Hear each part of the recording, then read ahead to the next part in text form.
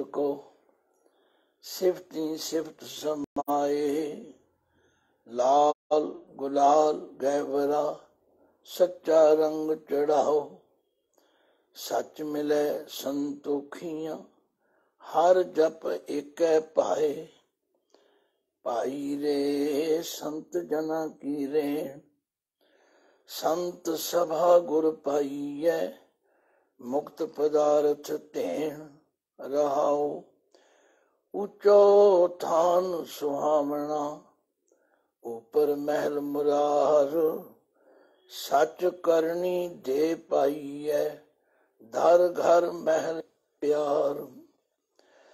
ਗੁਰਮੁਖ ਮਨ ਸਮਝਾਈਐ, ਆਤਮ ਰਾਮ ਵਿਚਾਰ। ਤ੍ਰਿਵਿਧ ਕਰਮ ਕਮਾਈ ਹੈ ਆਸ ਅੰਦੇਸਾ ਹੋਏ ਕਿਉਂ ਗੁਰ ਬਿਨ ਤ੍ਰਿਕੁਟੀ ਛੁਟ ਸੀ, ਸਹਿਜ ਮਿਲਿਆ ਸੁਖ ਹੋਏ। ਨਿਜ ਕਰ ਮਹਿਲ ਪਛਾਣੀ ਹੈ ਨਦਰ ਕਰੇ ਮਲ ਧੋਏ। ਬਿਨ ਗੁਰ ਮਹਿਲ ਨਾ ਉਤਰੈ, ਬਿਨ ਹਰ ਕਿਉਂ ਕਰ ਵਾਸ। ਏਕੋ ਸ਼ਬਦ ਵਿਚਾਰੀਐ ਅਵਰ ਤੇ ਆਗੇ ਆਸ। ਨਾਨਕ ਦੇਖ ਦਿਖਾਈ ਹੈ ਹਉ ਸਦ ਬਲਿਹਾਰੈ ਜਾਸ। ਸਤਿਗੁਰੂ ਸੱਚੇ ਪਾਤਸ਼ਾਹ, ਬਹੁਤ ਗੁੰਝਲਦਾਰ ਗੱਲਾਂ ਨੂੰ ਸੁਖੈਨ ਕਰਕੇ ਸਮਝਾਉਂਦੇ ਹਨ ਭਾਈ ਰੇ, ਸੰਤ ਜਨਾ ਕੀ ਰਹਿਣ ਹੈ ਭਾਈ, ਜੇ ਜੀਵਨ ਸਵਾਰਨਾ ਹੈ, ਜੇ ਜੀਵਨ ਵਿੱਚ ਚੰਗੇ ਗੁਣ ਪੈਦਾ ਕਰਨੇ ਹਨ ਤਾਂ ਫਿਰ ਸੰਤ ਜਨਾਂ ਕੀ ਰੇਨ। ਜਿਹੜੇ ਗੁਰਮੁਖ ਪਿਆਰੇ ਹਨ, ਜਿਹੜੇ ਹਰ ਕੇ ਸੰਤ ਪ੍ਰੇ ਪ੍ਰੀਤਮ ਪ੍ਰਭ ਕੇ, ਉਹਨਾਂ ਦੀ ਚਰਨ ਧੂੜੀ ਬਣ ਜਾਣਾ ਕਰ ਭਾਈ ਰੇ, ਸੰਤ ਜਨਾਂ ਕੀ ਰੇਨ। ਸੰਤ ਸਭਾ ਗੁਰ ਪਾਈ ਹੈ ਇਹ ਜਿਹੜੀ ਸੰਤਾਂ ਦੀ ਸੰਗਤ ਹੈ, ਜਿਹਨੂੰ ਸੰਤ ਸਭਾ ਕਿਹਾ ਜਿਹਨੂੰ ਗੁਰਮੁਖਾਂ ਦੀ ਸੰਗਤ ਕਿਹਾ ਹੈ, ਜਿਹਨੂੰ ਗੁਰੂ ਪਿਆਰਿਆਂ ਦੀ ਸੰਗਤ ਕਿਹਾ ਹੈ, ਉੱਥੇ ਬੈਠ ਕੇ ਉਹਨਾਂ ਦੀ ਸੰਗਤ ਕਰਕੇ ਗੁਰ ਪਾਈਏ। ਗੁਰੂ ਦੀ ਸੋਝੀ ਮਿਲਦੀ ਹੈ। ਗੁਰੂ ਦਾ ਗਿਆਨ ਪ੍ਰਾਪਤ ਹੁੰਦਾ ਹੈ। ਤੇ ਮੁਕਤ ਪਦਾਰਥ ਧੇਣ, ਹੁਣ ਤੇਣ ਦੇ ਅਖਰੀ ਅਰਥ ਨੇ ਗਊ।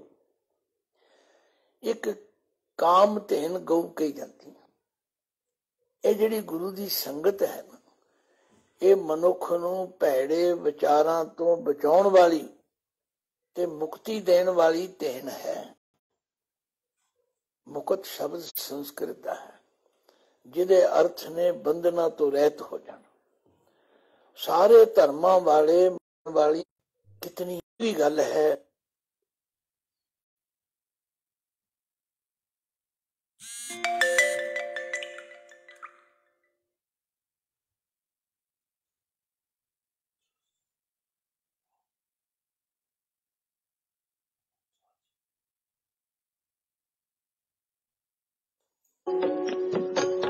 ਕਰਨੀ ਦੇ ਪਾਈ ਹੈ ਘਰ ਮਹਿਲ ਪਿਆਰ। ਗੁਰਮੁਖ ਮਨ ਸਮਝਾਈ ਆਤਮ ਰਾਮ ਵਿਚਾਰ। ਤ੍ਰਿਵਿਧ ਕਰਮ ਕਮਾਈ ਹੈ ਆਸ ਅੰਦੇਸਾ ਹੋਏ ਤੇ ਤਾਂ ਹੈ। ਜੇ ਜਿਉਂਦਿਆਂ ਇਹਨਾਂ ਭੈੜੇ ਵਿਚਾਰਾਂ ਤੋਂ ਮੁਕਤ ਹੋ ਜਾਈਏ, ਇਹਨਾਂ ਵਿਕਾਰਾਂ ਤੋਂ ਮੁਕਤ ਹੋ ਜਾਈਏ ਤਾਂ ਸੱਚਮੁੱਚ ਗੁਰਮੁਖਾਂ ਦੀ ਸੰਗਤ ਜਿਹੜੀ ਹੈ, ਉਹ ਸਾਨੂੰ ਭੈੜੇ ਵਿਚਾਰਾਂ ਤੋਂ ਮੁਕਤੀ ਦੇਣ ਵਾਲੀ ਤੇਨ ਗਊ ਹੈ। ਕਿਤਨੀ ਡੂੰਗੀ ਗੱਲ ਹੈ, ਪਰ ਕਿਤਨੀ ਸਰਲ ਕਰਕੇ ਸਮਝਾਈ ਕਿਉਂਕਿ ਮੈਨੂੰ ਇੱਕ ਘਟਨਾ ਯਾਦ ਹੈ। ਭਾਈ ਸਾਹਿਬ, ਭਾਈ ਜਸਵੀਰ ਸਿੰਘ ਜੀ ਖੰਨੇ ਵਾਲਿਆਂ ਨੇ, ਉਹ ਹਰ ਸਾਲ ਸਮਾਗਮ ਰਚਦੇ ਸਨ, ਕਥਾ ਸਮਾਗਮ ਕਰਦੇ ਸਨ। ਪਰ ਉਹਨਾਂ ਦੇ ਕਥਾ ਸਮਾਗਮ ਰੱਖਣ ਦਾ, ਕਰਨ ਦਾ ਇੱਕ ਵਿਲੱਖਣ ਤਰੀਕਾ ਸੀ।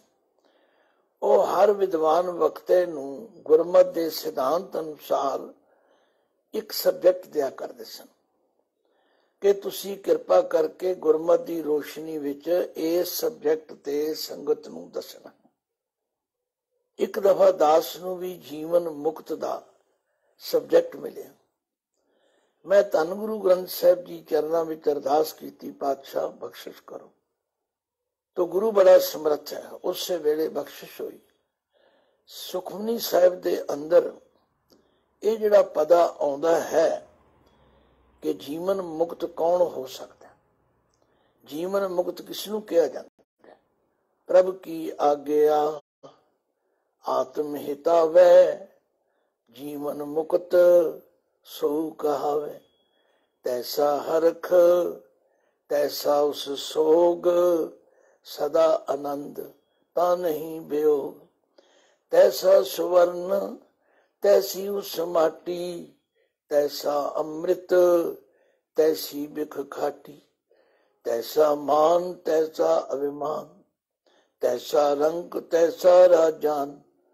ਜੋ ਵਰਤਾਏ ਸਾਈ ਜੁਗਤ ਨਾਨਕ, ਉਹ ਪੁਰਖ ਕਹੀਐ, ਜੀਵਨ ਮੁਕਤ। ਤੋ ਜਿਹੜੀ ਇਹ ਗੁਰਮੁਖਾਂ ਦੀ ਸੰਗਤ ਹੈ, ਇਹ ਮੁਕਤ ਪਦਾਰਥ ਦੇਣ ਵਾਲੀ ਧੇਣ ਗਊ ਹੈ। ਜਿਉਂ-ਜਿਉਂ ਸੰਗਤ ਕੋਈ ਕਰੇਗਾ, ਤਿਉਂ-ਤਿਉਂ ਉਸਦੇ ਜੀਵਨ ਵਿੱਚ ਤਬਦੀਲੀ ਆਵੇਗੀ। ਉਹਦੇ ਵਿੱਚੋਂ ਵਿਕਾਰ ਘਟਣਗੇ। ਜਿਵੇਂ ਕਿਸੇ ਬਰਤਨ ਦੇ ਅੰਦਰ ਕਈ ਛੇਕ ਹਨ ਕਈ ਮੋਰੀਆਂ ਹਨ, ਜੋ ਕੁਝ ਪਾਓ ਨਿਕਲ ਜਾਂਦਾ ਪਰ ਗੁਰੂ ਘਰ ਦੀ ਸੰਗਤ ਵਿੱਚ ਆ ਕੇ ਹੌਲੀ ਹੌਲੀ ਉਹਨਾਂ ਕਮਜ਼ੋਰੀਆਂ ਨੂੰ, ਉਹਨਾਂ ਮੋਰੀਆਂ ਨੂੰ, ਉਹਨਾਂ ਖੱਪਿਆਂ ਨੂੰ ਰੋਕਿਆ ਜਾਂਦਾ ਹੈ। ਔਰ ਜਿਉਂ-ਜਿਉਂ ਰੁਕਦੇ ਹਨ, ਫਿਰ ਸਾਡੀ ਜਿਹੜੀ ਆਤਮਿਕ ਕਮਾਈ ਹੈ, ਉਹ ਟਿਕਣ ਲੱਗ ਪੈਂਦੀ ਹੈ। ਇਸ ਲਈ ਸਤਿਗੁਰੂ ਜੀ ਕਹਿੰਦੇ ਨੇ, ਭਾਈ ਰੇ, ਸੰਤ ਜਨਾ ਕੀ ਰੇ ਸੰਤ ਸਭਾ ਗੁਰ ਪਾਈਐ, ਮੁਕਤ ਪਦਾਰਥ ਤੇ ਲੋ, ਇਹਨੂੰ ਹੋਰ ਸਰਲ ਕਰਕੇ ਸਮਝਾਉਂਦੇ ਧਾਤ ਮਿਲੇ ਫੁਨ ਧਾਤ ਕੋ, ਸਿਫਤੀ ਸਿਫਤ ਸਮਾਏ। ਜਿਵੇਂ ਇੱਕ ਧਾਤੂ ਦੂਜੀ ਧਾਤੀ ਵਿੱਚ ਮਿਲ ਜਾਂਦੀ, ਉਹਦਾ ਰੂਪ ਬਣ ਜਾਂਦੀ। ਭਾਵ ਸੋਨੇ ਦੇ ਗਹਿਣੇ ਹਨ। ਅਸੀਂ ਉਹਨਾਂ ਸੋਨੇ ਦੇ ਗਹਿਣਿਆਂ ਨੂੰ ਫਿਰ ਸੋਨਾ ਬਣਾਉਣਾ ਚਾਹੁੰਦੇ ਹਾਂ। ਤਾਂ ਕੀ ਕਰਨਾ ਪਵੇਗਾ ਉਹਨਾਂ ਸੋਨੇ ਦੇ ਗਹਿਣਿਆਂ ਨੂੰ ਗਾਲਣਾ ਪਵੇਗਾ ਉਹ ਫਿਰ ਸੋਨਾ ਬਣ ਜਾਣਗੇ। ਥੋੜੀ ਦੇਰ ਪਹਿਲਾਂ ਉਹ ਗਹਿਣੇ ਸਨ। ਕਿਸੇ ਦਾ ਨਾਮ ਕਾਂਟਾ ਸੀ, ਕਿਸੇ ਦਾ ਨਾਮ ਮੁੰਦਰੀ ਸੀ, ਕਿਸੇ ਦਾ ਨਾਮ ਚੱਲਾ ਸੀ। ਪਰ ਜਦੋਂ ਉਹ ਗਲ ਗਏ, ਤਾਂ ਉਹਨਾਂ ਦਾ ਪਹਿਲਾ ਸਰੂਪ ਖਤਮ ਹੋ ਗਿਆ। ਇਸੇ ਤਰ੍ਹਾਂ ਪਾਤਸ਼ਾਹ ਕਹਿੰਦੇ ਨੇ, ਧਾਤ ਮਿਲੇ ਫੁਨ ਧਾਤ ਕੋ ਜਿਵੇਂ ਇੱਕ ਧਾਤੂ ਗਲ ਕੇ ਆਪਣੀ ਧਾਤ ਵਿੱਚ ਇੱਕਮਿਕ ਹੋ ਜਾਂਦੀ। ਪਾਤਸ਼ਾਹ ਨੇ ਗੁਰਬਾਣੀ ਵਿੱਚ ਬਹੁਤ ਸੌਖੇ ਢੰਗ ਨਾਲ ਅਲੰਕਾਰ ਮਿਲ ਥੈਲੀ ਹੋਈ ਹੈ ਤਾਂ ਤੇ ਕਨਕ ਵਖਾਨੀ। ਜਿਵੇਂ ਅਲੰਕਾਰ ਗਹਿਣਿਆਂ ਨੂੰ ਗਾਲ ਕੇ ਸੁਨਿਆਰਾ ਬਿਲਕੁਲ ਤਰਲ ਬਣਾ ਦਿੰਦਾ ਹੈ ਔਰ ਉਹ ਫਿਰ ਸੋਨਾ ਬਣ ਜਾਂਦਾ ਪਾਤਸ਼ਾਹ ਕਹਿੰਦੇ ਨੇ ਇਸੇ ਤਰ੍ਹਾਂ ਧਾਤ ਮਿਲੇ ਫੁਨ ਧਾਤ ਕੋ, ਸਿਫਤੀ ਸਿਫਤ ਸਮਾਏ। ਉਹ ਜੋ ਸਿਫਤਾਂ ਦਾ ਮਾਲਕ ਵਾਹਿਗੁਰੂ ਹੈ, ਉਹਦੇ ਨਾਲ ਇਕਮਿਕ ਹੋਣ ਦਾ ਹੋਰ ਕੋਈ ਤਰੀਕਾ ਨਹੀਂ। ਸਿਫਤ ਸਮਾਏ, ਸਿਫਤ ਦੇ ਤੱਤੇ ਨੂੰ ਸਿਆਰੀ ਹੈ।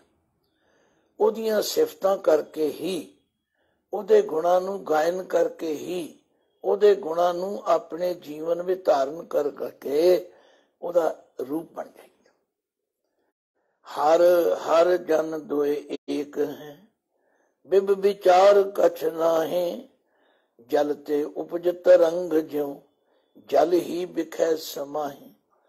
ਜਿਵੇਂ ਪਾਣੀ ਲਹਿਰਾਂ ਬਣਨ ਤੋਂ ਪਹਿਲਾਂ ਵੀ ਪਾਣੀ ਹੈ, ਜਦੋਂ ਲਹਿਰਾਂ ਬਣ ਗਈਆਂ ਤੇ ਅਸੀਂ ਆਖਿਆ ਲਹਿਰਾਂ ਨੇ। ਤੇ ਜਦੋਂ ਲਹਿਰਾਂ ਫਿਰ ਪਾਣੀ ਵਿੱਚ ਸਮਾ ਗਈਆਂ ਫਿਰ ਪਾਣੀ ਬਣ ਗਈ ਦੇਖੋ ਇੱਕ ਪੰਕਤੀ ਵਿੱਚ ਪਾਤਸ਼ਾਹ ਨੇ ਕਿਤਨੀ ਡੂੰਗੀ ਗੱਲ ਸਮਝਾ ਦਿੱਤੀ। ਗੁਰੂ ਅਮਰਦਾਸ ਜੀ ਇਸ ਹੋਰ ਸੌਖਾ ਕਰ ਲੋਕ ਪੁੱਛਦੇ ਨੇ ਨਾਮ ਕਿਵੇਂ ਜਪੀਏ? ਗੁਰੂ ਅਮਰਦਾਸ ਜੀ ਕਹਿੰਦੇ ਨੇ, ਸਦਾ ਸਿਫਤ ਸਲਾਹ ਤੇਰੀ ਨਾਮ ਮਨ ਵਸਾਵੇ।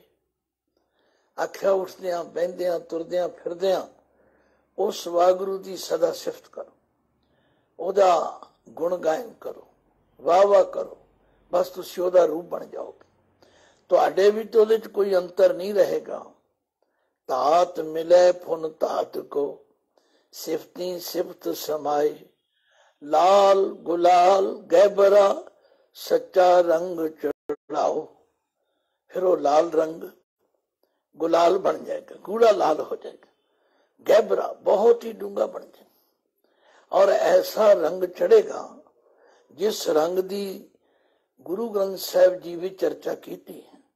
ਲਾਲ ਰੰਗ ਤਿਸ ਕੋ ਲਗਾ, ਜਿਸ ਕੇ ਵੱਡ ਭਾਗਾ, ਮੈਲਾ ਕਦੇ ਨਾ ਹੋਵਈ, ਨਾ ਲਾਗੈ ਦਾਗਾ, ਨਾ ਮੈਲਾ, ਨਾ ਧੁੰਦਲਾ, ਨਾ ਭਗਵਾ, ਨਾ ਕੱਚ, ਨਾਨਕ ਲਾਲੋ ਲਾਲ ਹੈ ਸੱਚੇ ਰਤਾ ਸੱਚ।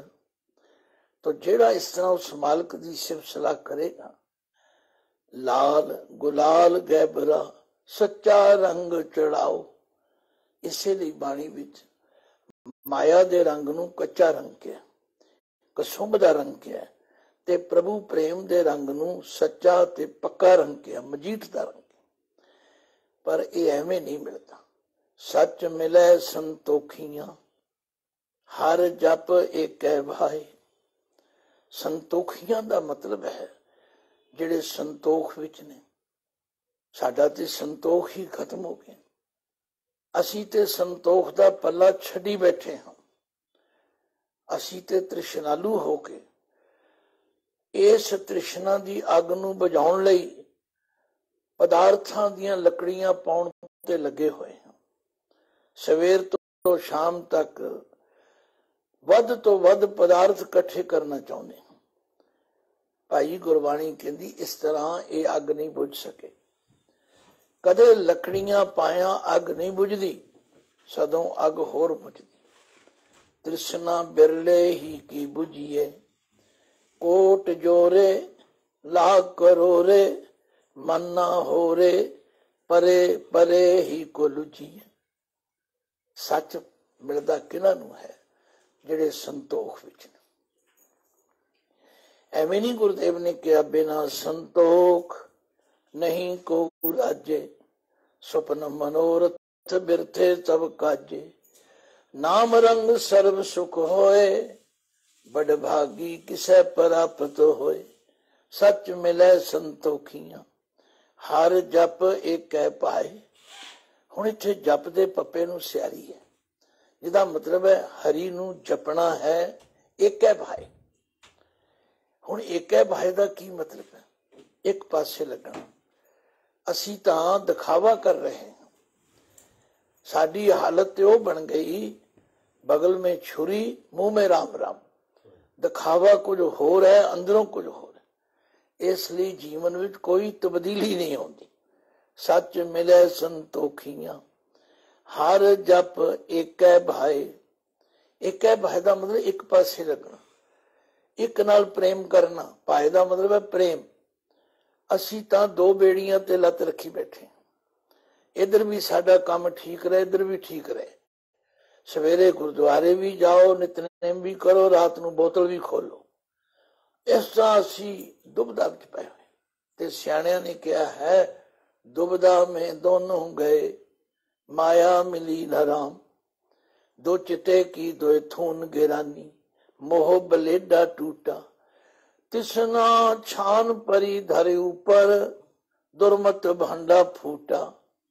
ਸੱਚ ਮਿਲੇ ਸੰਤੋਖੀਆਂ।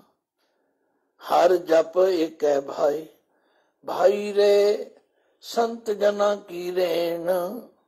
ਸੰਤ ਸਭਾ ਗੁਰ ਪਾਈਐ, ਮੁਕਤ ਪਦਾਰਥ ਤੇਣ ਰਹਾਓ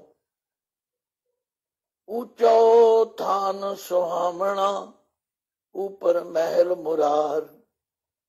ਉਸ ਵਾਹਿਗੁਰੂ ਦਾ ਥਾਨ, ਟਿਕਾਣਾ ਬਹੁਤ ਉੱਚਾ ਹੈ ਔਰ ਬੜਾ ਸੁੰਦਰ ਹੈ। ਉਪਰ ਉਪਰ ਦੇ ਰਾਰੇ ਨੂੰ ਸਿਆਰੀ, ਉਪਰ, ਉਸ ਤੋਂ ਵੀ ਉੱਤੇ ਮਹਿਲ ਮੁਰਾਰ। ਉਸ ਮੁਰਾਰ ਅਹੰਕਾਰ ਰੂਪੀ ਦੈਂਤ ਨੂੰ ਮਾਰਨ ਵਾਲੇ ਪਰਮਾਤਮਾ ਦਾ ਮਹਿਲ, ਟਿਕਾਣਾ, ਅਸਥਾਨ ਉੱਚਾ ਹੁਣ ਉਸ ਉੱਚੇ ਮਹਿਲ ਤੇ ਪਹੁੰਚਣ ਵਾਸਤੇ ਸੱਚ ਕਰਨੀ ਦੇ ਪਾਈ ਹੈ। ਦਰ ਘਰ ਮਹਿਲ ਪਿਆਰ, ਉੱਥੇ ਤਾਂ ਸੱਚੀ ਕਰਨੀ ਕਰਕੇ ਪਹੁੰਚਿਆ ਜਾ ਸਕਦਾ। ਅਸੀਂ ਦਿਖਾਵਾ ਹੋਰ ਕਰ ਰਹੇ ਹਾਂ, ਅੰਦਰੋਂ ਕੁਝ ਹੋਰ। ਇਸੇ ਲਈ ਗੁਰੂ ਅਮਰਦਾਸ ਪਾਤਸ਼ਾਹ ਜੀ ਨੇ ਫਰਮਾਇਆ, ਜਿਉ ਮੈਲੇ ਬਾਹਰੋਂ ਨਿਰਮਲ ਬਾਹਰੋਂ ਨਿਰਮਲ ਜਿਉ ਤਾਂ ਮੈਲੇ ਤਿਨੀ ਜਨਮ ਜੂਐ ਹਾਰਿਆ। ਉਹਨਾਂ ਨੇ ਆਪਣਾ ਜਨਮ ਹੀ ਜੂਏ ਵਿੱਚ ਹਾਰ ਕਿਉਂਕਿ ਸਮਾਂ ਆਪਣੀ ਤੇਜ਼ ਰਫ਼ਤਾਰੀ ਨਾਲ ਲੰਘਿਆ ਜਾ ਰਿਹਾ ਹੈ, ਇਹ ਤਾਂ ਵਾਪਸ ਨਹੀਂ ਆਉਂਦਾ। ਇਸ ਨੂੰ ਅਸੀਂ ਅਜਾਈ ਨਾ ਗਵਾਈਏ। ਸੱਚ ਕਰਨੀ ਦੇ ਪਾਈਏ। ਉਸ ਵਾਹਿਗੁਰੂ ਦੇ ਟਿਕਾਣੇ ਨੂੰ ਅਸਥਾਨ ਨੂੰ ਜੇ ਮਿਲਣਾ ਹੈ, ਪ੍ਰਾਪਤ ਕਰਨਾ ਹੈ, ਤਾਂ ਫਿਰ ਸੱਚੀ ਕਰਨੀ ਕਰਨੀ ਪਵੇ। ਕਰਨੀ ਕਿਸ ਨੂੰ ਕਹਿੰਦੇ ਜੋ ਅਸੀਂ ਕੰਮ ਕਰਦੇ ਹਾਂ। ਜੋ ਅਸੀਂ ਸਵੇਰ ਤੋਂ ਸ਼ਾਮ ਤੱਕ ਕਰਦੇ ਹਾਂ ਜੋ ਦੇ ਵਿੱਚ ਮਿਲਾਵਟ ਹੈ ਅੰਦਰੋਂ ਹੋਰ ਬਾਹਰੋਂ ਹੋਰ ਕਦੇ ਪਰਮਾਤਮਾ ਨਹੀਂ ਮਿਲ ਸਕਦਾ। ਕਲਗੀਆਂ ਵਾਲੇ ਪਾਤਸ਼ਾਹ ਦੇ ਬਚਨ ਰੋਜ਼ ਪੜ੍ਹਦੇ ਹਾਂ। ਕਾਹੂ ਲੈ ਪਾਹਨ ਪੂਜ ਤਰਿਓ ਸਿਰ ਕਾਹੂ ਲੈ ਲਿੰਗ ਗਰੇ ਲਟਕਾਇਓ काहू लख्यो हर अवाची दिशा में। काहू पछा गुसी वायु को बुतान को पूजत हैं पस। को मृतान को पूजन धायो। कूर क्रिया उर जो सभी जग। श्री भगवान को भेद न पायो। कहा भयो? जो दो लोचन मुंद के। बैठ रहो बक ध्यान लगायो। नाथ फिर लिए सात समुद्रन। ਲੋਕ ਗਇਓ, ਪਰ ਲੋਕ ਗਵਾਇਓ। ਬਾਸ ਕੀਓ ਵਿਖਿਆਨ ਸੋ ਬੈਠ ਕੇ, ਐਸੇ ਹੀ ਐਸੇ ਸੁਬੈਤ ਬਿਤਾਇਓ। ਸਾਚ ਕਹੋ ਸੁਨ ਲੈ ਹੋ ਸਭੈ, ਜਿਨ ਪ੍ਰੇਮ ਕੀਓ, ਤਿਨ ਹੀ ਪ੍ਰਭ ਪਾਇਓ।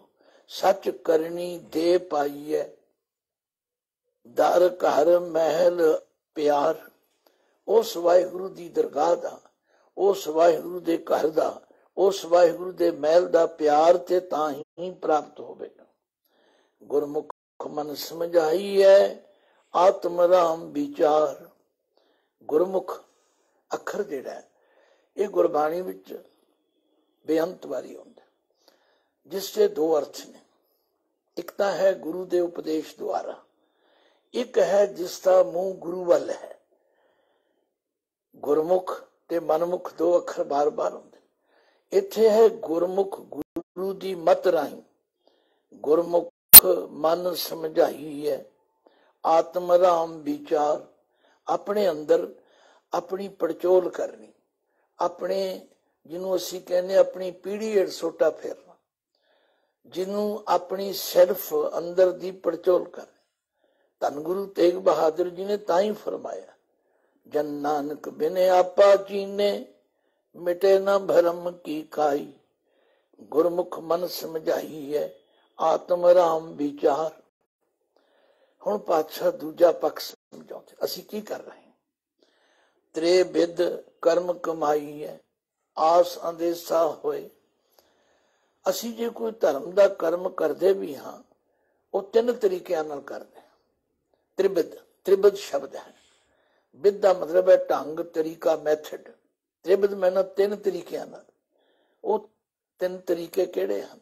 ਰਜੋ ਗੁਣ ਸਤੋ ਗੁਣ ਤਮੋ ਗੁਣ ਅਸੀਂ ਜੇ ਕੋਈ ਧਰਮ ਦਾ ਕਰਮ ਕਰਦੇ ਵੀ ਹਾਂ, ਤਾਂ ਇਹ ਸੋਚ ਕੇ ਕਰਦੇ ਵੀ ਇਹਦੇ ਨਾਲ ਸਾਨੂੰ ਕਿਤਨੀ ਸ਼ੋਭਾ ਮਿਲੇਗੀ।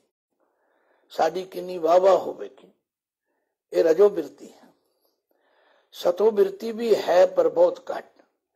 ਤੇ ਤਮੋ ਬਿਰਤੀ ਤੇ ਅੱਜ ਇੰਨੀ ਪ੍ਰਧਾਨ ਹੋ ਚੁੱਕੀ ਹੈ ਕਿ ਅਸੀਂ ਜੇ ਕੋਈ ਪੱਖਾ ਵੀ ਦਾਨ ਕਰੀਏ, ਉਹਦੇ ਉੱਤੇ ਵੀ ਸਾਡਾ ਨਾਮ ਹੋਣਾ ਚਾਹੀਦਾ। ਉਹਦੇ ਤਿੰਨਾਂ ਹੀ ਖੰਭਾਂ ਉੱਤੇ ਨਾਮ ਹੋਣਾ ਚਾਹੀਦਾ। ਮਤਲਬ ਕਹਿਣ ਤੋਂ ਕਿ ਤਮੋ ਬਿਰਤੀ ਔਰ ਜੇ ਕੋਈ ਸਾਡਾ ਨਾਮ ਨਾ ਲਵੇ, ਜ਼ਿਕਰ ਨਾ ਕਰੇ, ਫਿਰ ਅਸੀਂ ਗੁੱਸੇ ਵੀ ਹੋ ਜਾਂਦੇ ਹਾਂ। ਮਹਾਰਾਜ ਕਹਿੰਦੇ ਤ੍ਰਿਬਿਦ ਕਰਮ ਕਮਾਈ ਹੈ। ਜਿਹੜੇ ਲੋਕ ਇਹਨਾਂ ਤਿੰਨ ਤਰੀਕਿਆਂ ਨਾਲ ਰਜੋ ਤਮੋ ਸਤੋ ਨਾਲ ਧਰਮ ਦੇ ਕਰਮ ਕਰ ਰਹੇ ਨੇ, ਆਸ ਅੰਦੇਸਾ ਹੋਏ। ਇਹਦੇ ਵਿੱਚ ਫਿਰ ਦੋਵੇਂ ਚੀਜ਼ਾਂ ਚੰਬੜੀਆਂ ਰਹਿੰਦੀਆਂ ਨੇ।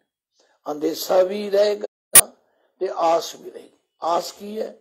ਇਹ ਇੱਛਾ ਕਰਨੀ ਮੇਰਾ ਕੋਈ ਨਾਮ ਲਵੇ। ਅੰਦੇਸਾ, ਪਤਾ ਨਹੀਂ ਲੋਕਾਂ ਨੂੰ ਪਤਾ ਲੱਗਿਆ ਕਿ ਨਹੀਂ। ਮੈਂ ਇਹ ਦਾਨ ਕੀਤਾ ਉਹਦੇ ਦੱਸਣ ਦਾ ਫਿਰ ਪ੍ਰਬੰਧ ਕਰਨਾ ਪੈਂਦਾ। ਪਾਤਸ਼ਾਹ ਕਹਿੰਦੇ, ਕਿਉਂ ਗੁਰਬਿਨ ਤ੍ਰਿਕੁਟੀ ਛੁੱਟ ਸੀ? ਬਈ ਗੁਰੂ ਦੀ ਸਿੱਖਿਆ ਨੂੰ ਮੰਨੇ ਤੋਂ ਬਿਨਾ।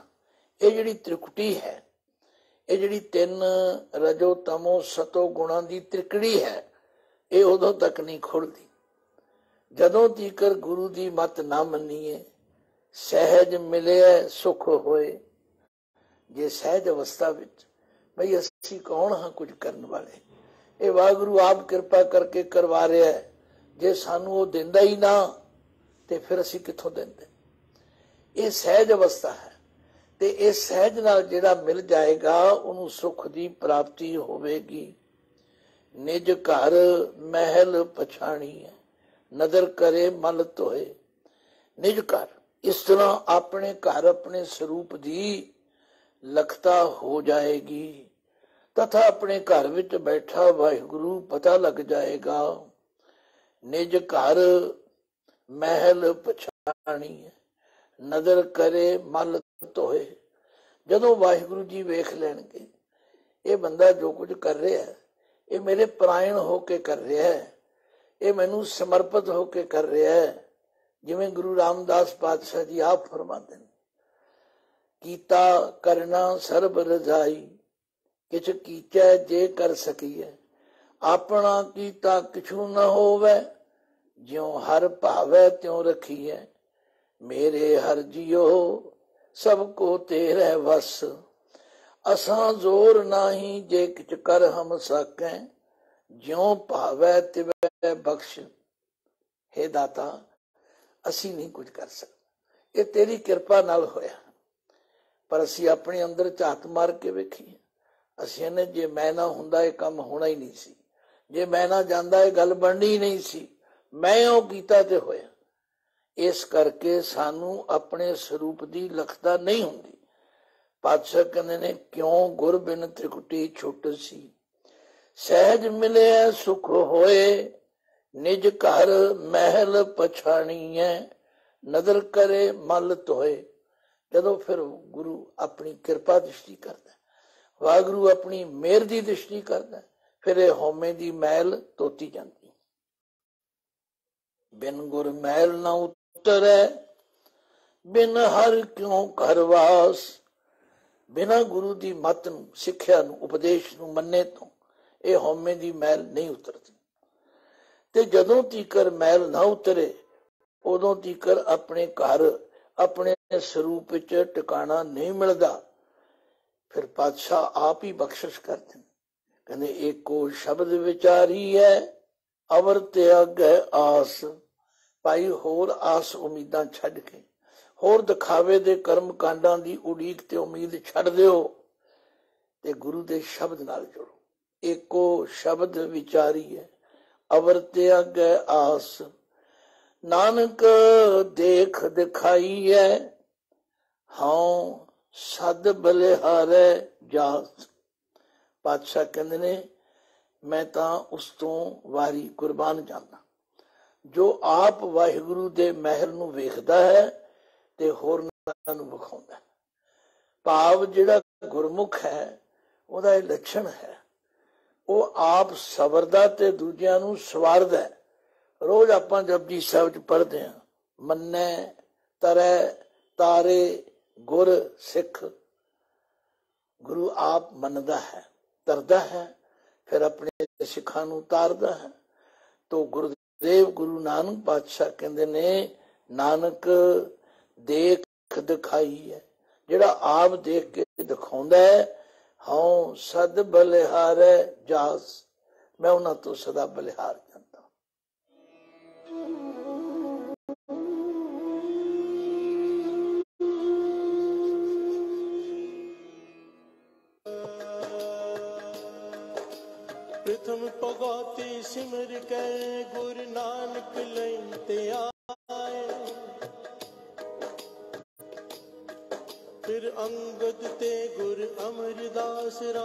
ਪਾਸੇ ਹੋਈ ਸਹਾਈ ਸਹਾਈ ਸਹਾਈ। ਅਰਜਨ ਹਰ ਗੋਬਿੰਦ ਨੋ ਸਿਮਰੋ ਸ੍ਰੀ ਹਰਿ ਰਾਏ। ਸ੍ਰੀ ਹਰਿ ਕ੍ਰਿਸ਼ਨ ਤੇ ਆਈਏ, ਜਿਸ ਡਿੱਠੇ ਸਭ ਦੁੱਖ ਜਾਏ ਦੁੱਖ ਜਾਏ ਦੁੱਖ ਜਾਏ।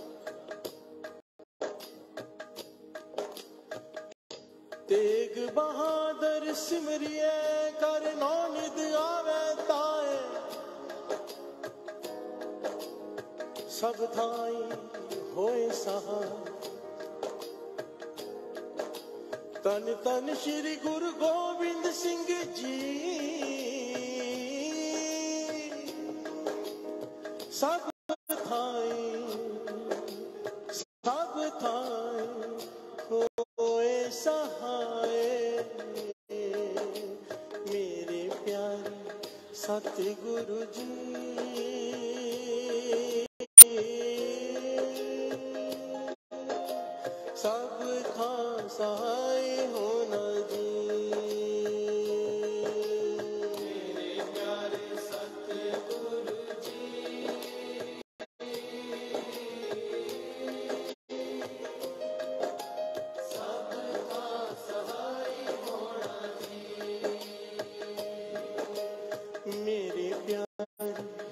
ਸਤਿਗੁਰੂ ਜੀ